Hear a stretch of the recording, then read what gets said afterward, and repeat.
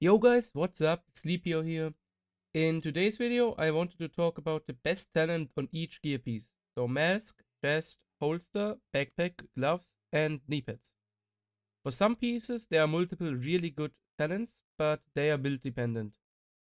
But before I tell you what's the best, I want to explain the difference between active and passive talents real quick.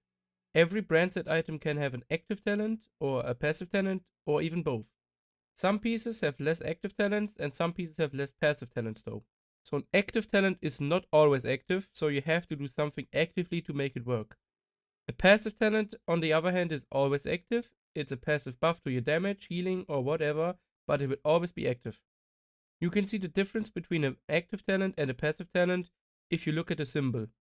An active talent will have a circle with an arrow in the middle, while a passive talent will just have the circle without anything in it. One last thing, you can't recalibrate an active talent to a passive talent, and also not the other way around. Now to the best in slot talents. Let's start with the mask. The mask only has two active talents I know of, and one of them is pretty useless, which makes the other one the best already. The talent I'm talking about is dialed in, and it used to be pretty OP. But they nerfed it, and now it's not as good anymore, but it's still really good in my eyes. It increases your gun stability by 25% of your accuracy. It only works if you aim down sights though. The best passive talent on the mask has to be hard hitting that gives you 15% damage to elites. Even for PvP, at least in the Dark Zone, that isn't too bad since you will run into a few elite NPCs in the Dark Zone as well. If you are just playing skirmish, I would go for capacitive, which increases skill duration. You can only have one talent on the mask, so either active or passive. The next item on the list is a chest. The only chest that can have an active and a passive talent is the Fenris Group AB. And to be honest, I don't know why. All the other chests can have either active or passive talent. So the best active talent on the chest has to be Berserk for any assault rifle SMG build. In PvE, it gives you 10% extra damage for 10% of your missing armor, and in PvP, it's 5% extra damage for 10% missing armor.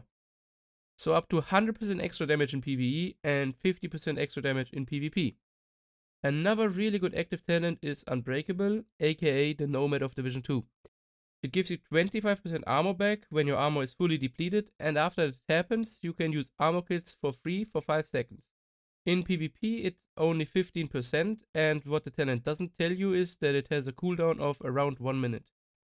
The best passive talent on the chest is Hardened, which gives you 10% more armor. Hardened is one of the best passive talents in the game, so it has to be on that list. Next we have the Holster. The Holster has three active talents, but they are all really build dependent or just not better than the passive talents. You can have either active or passive talent on the Holster, not both. As best in slot for the active talent, I will pick Fill'er Up, since the two others are just too build dependent. Reloading from empty reloads all weapons. Isn't the best, but it can be useful. But the passive talents on the holster are way better than that. We have devastating, surgical, and hard hitting. For PvE, you have to go for hard hitting again. For PvP, you can decide between 8% crit chance or 5% weapon damage. For me, the weapon damage is almost always better, but in certain builds, the crit chance is essential, so you can go for that as well. On the backpack, you can have an active talent and a passive talent, or even two passive talents, as far as I know. The best active talents in my opinion are Safeguard and Efficient. Safeguard grants 150% bonus to all healing and repairing effects, so armor kits, chem launcher heals, and the healing drone, for 20 seconds after killing a target. This can be really good with a build my friend widdz made, link is in the description. It's a bit harder to achieve since you need to have 5 or less offensive attributes. The other talent is efficient and it's not that great.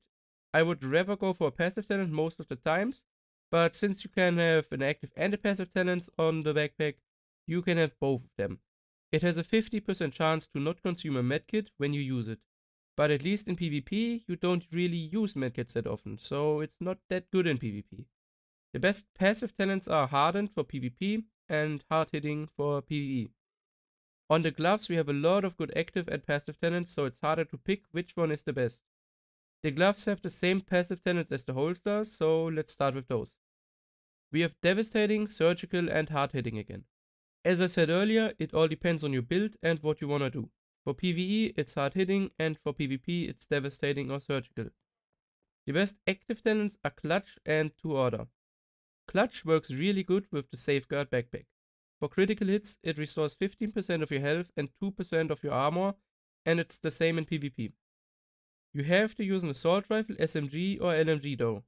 The other talent, to Order, makes you cook grenades now, so hold the fire button to make them explode faster or even instant when they arrive. Can be really annoying in PvP, but I wouldn't give up devastating for that. The last item on the list are the knee pads, and we don't have many good talents here.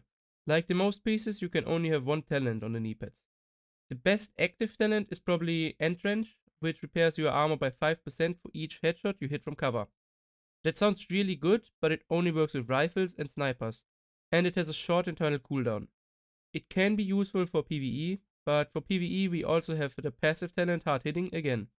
Hard Hitting is maybe the best talent on the knee pads overall, because the other passive talents aren't too great either. The only other talent I could imagine to be somewhat useful for PvP is Insulated, which gives you 10% all resistance to status effects. And that's it. My best in slot guide for gear. I hope I could help some of you with that video. If you wanna see more, make sure to subscribe to my channel. Thanks for watching and uh, see you in my next video.